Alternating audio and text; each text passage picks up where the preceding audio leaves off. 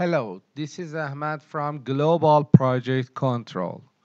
In this lesson, I would like to show you how you can install Primavera P6 software in your computer. First of all, you need to download the package of Primavera P6 from Oracle eDelivery.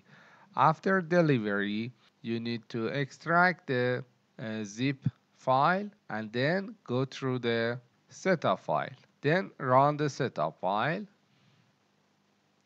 After that, it's ask you for typical or advanced. You select the typical and use to install. Waiting up to completed its installation. It's a little bit take time and after step 1 completed you face it with this dialog box. You can run the setup database configuration. You can use the next and the easier way to set up.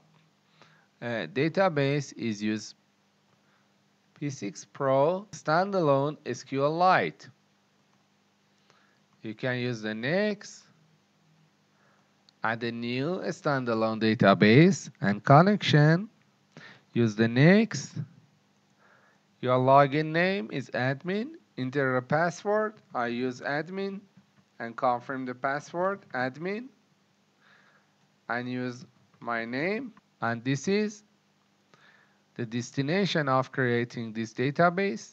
Let me to change it to the sample and then I create it. Right now, if you like to run the software, you can go through the search on the Windows, use Primavera, and it's appear.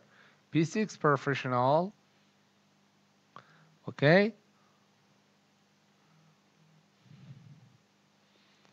On the database tab, you looking for your database, and check mark and on the login you use admin by password admin which you created during the installation.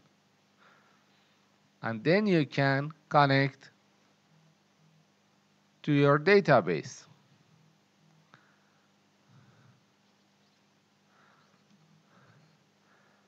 At the first run P6 asks you to Select the appropriate industry for your organization. Push the OK button, then go through the admin, use admin preferences, select the industry tab, and for instance, use the utility oil and gas. That's it you install the P6 software in your computer. I hope this lesson would be useful for you.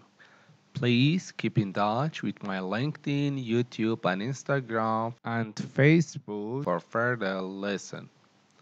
Also, you can follow my hashtag Global Project Control in order to find all of my lesson Thank you for your subscription in my channel.